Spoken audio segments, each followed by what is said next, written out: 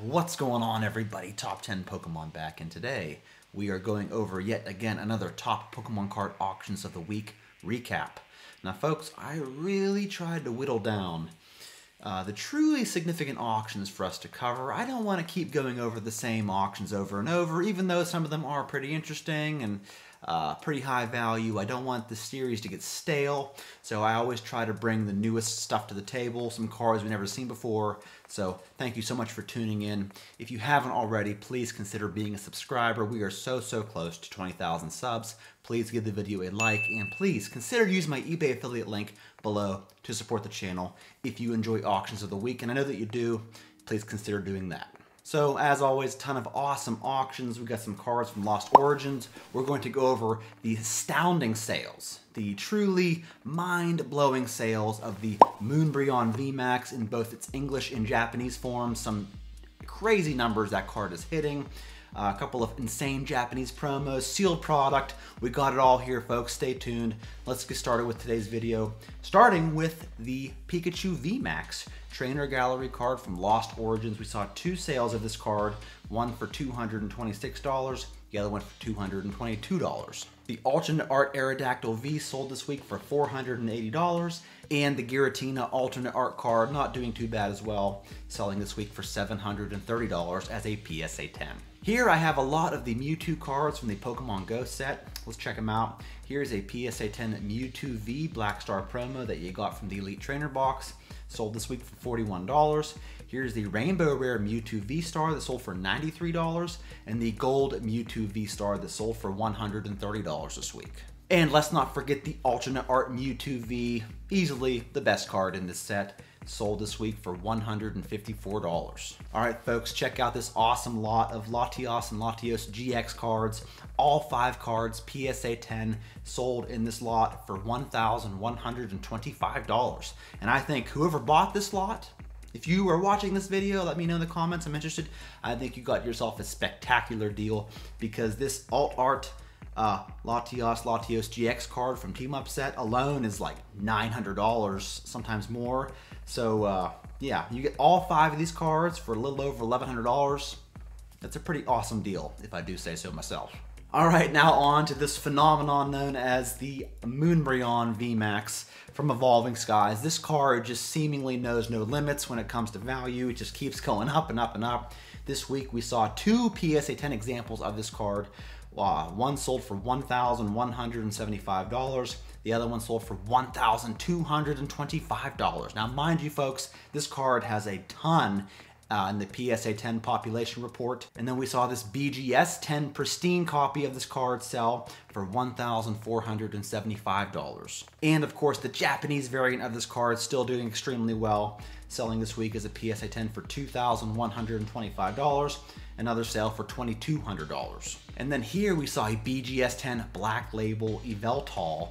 I believe this is from the Shining Fates set uh, sold for $520 this week. You see these amazing rares come by as PSA 10s like crazy. They're like water, you know, they just constantly flow through, but you rarely see a black label amazing rare card come through, so I wanted to make sure to cover that. Just a couple of XY era cards I found interesting. Here's a full art Lugia EX from Lost Origins sold this week for $630, while this Mega Rayquaza EX, also from Ancient Origins, sold for $640. Here is a lineup of PSA 10 Call of Legends crosshatch play cards.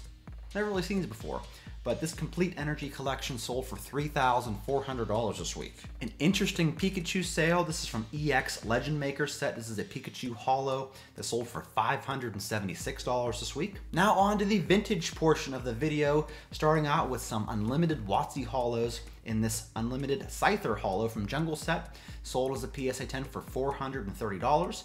Here's an unlimited Rockets Zapdos Holo that sold for $301 and the unlimited Rockets Moltres the Flaming Chicken himself sold this week for $372. I've always felt that these unlimited WotC Holos and PSA 10 were very underrated. I continue to believe so. Uh, these are pretty decent prices to get your hands on these cards, and they're fairly low population cards as well. On to some first edition cards. Here's a Rockets Scyther Holo from Gym Hero set. That sold for $2,105 this week. Here's a first edition Dark Houndoom Holo from Neo Destiny that sold for $720. Uh, here we have a Togepi and Togetic first edition from Neo Genesis both PSA 10s sold for $836. And then here we have a first edition Shining Steelix from Neo Destiny that sold for $1,525. On to some interesting base set sales. Here is a first edition Shadowed Machamp. We haven't seen one of these come by for a little while in auction. This week, one sold for $1,325. Here's a first edition Zapdos from base set, sold for $5,049. And then here is a first edition Red Cheeks Pikachu from base set that sold for $5,200. It's crazy that a common card can outdo a first edition PSA 10 holo from base set. Uh, yeah, this Pikachu card is definitely a banger. Up next are a couple of interesting Japanese promos. Here is a Japanese uh, McDonald's Squirtle holographic promo, sold for $625. While this Charmander, also the McDonald's promo, uh, sold for $440. Here is a Japanese Charizard CD promo. We've seen this a million times before.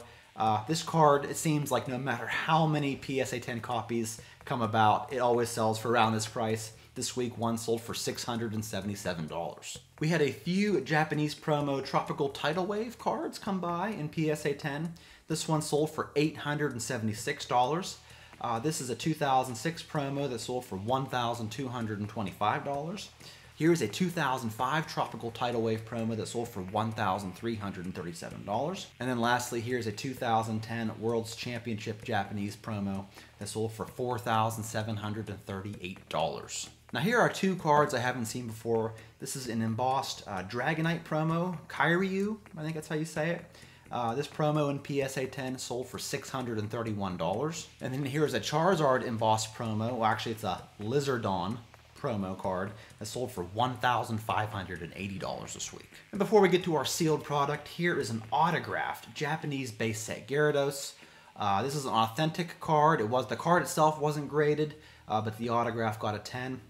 This is, of course, autographed by Mitsuhiro Arita. And like the subtitle says, this is a rare gem with no personalization. We don't want anybody's name on the card. Uh, it's just got a nice little sketch of Gyarados with the signature. That's what you want, right? This card sold for $1,725. All right, on to some sealed product. Here is a black and white base set box. Sold for $1,358. We saw several unlimited WotC boxes come by. Here's an unlimited fossil box sold for $6,900. An unlimited Team Rocket booster box sold for $7,212, while the unlimited Gym Heroes box sold for $6,200. And then we had an unlimited Neo Revelation booster box sell for $12,502. On to this week's PWCC weekly auction recap. We've seen a lot more substance this week than we have in the past couple weeks. Here from Heart Gold Soul Silver, here's a Raikou promo card. This is a pop one of three card that sold for $1,860. Here's a Dark Dragonite First Edition Holo from Team Rocket set, sold for $2,010, while the Light Arcanine from Neo Destiny sold for $3,120. Here's a reverse holographic Venusaur from Legendary Collection in PSA 10 that sold for $3,240. Uh, we had a Lugia EX from Unseen Forces sell for $3,720. And then here we saw a lineup of Gold Star cards, but this is where it's interesting. These three right here are CGC 10 Pristine Gold Star cards. Uh, we have the Entei Gold Star that sold for $1,830, the Raikou Gold Star that sold for $1,710, and the Suicune Gold Star, also a CGC 10, sold for $1,650. Here is a PSA 10 Gold Star Celebi that sold for $3,480, while this Gold Star Mudkip from EX Team Rocket Returns sold for $7,800 this week. A couple of the legendary Beasts in Raikou First Edition from Neo Revelation set in PSA 10 sold for $8,400, while the Entei also sold as a PSA 10 for $8,400. Here is a first edition holographic Snorlax from Jungle Set, got the PSA 10 and sold for $9,300. And then we saw a PSA 10 first edition base set Stoys come by, and it sold for $38,400. And then here in the monthly premiere auction of PWCC, this is a PSA 10 no rarity symbol Japanese base set Mewtwo. Pop one of nine card, sold for $15,600. In the auction of the week, I'm going to have to give to this Gold Star Rayquaza. That's got a bit of an older label on it, sold as a PSA 10 for $34,200. Now at its height, this card was selling back about two years ago for $45,100. So, so this is still a pretty valuable card though, selling at a whopping $34,000 this week. Thank you so much for watching, folks. I really, really appreciate your support. I hope you enjoyed this week's auction recap. Give the video a like if you did. That's all I got for you, folks. I'm going to be putting out some videos this week, so stay tuned for those, and I will see you then.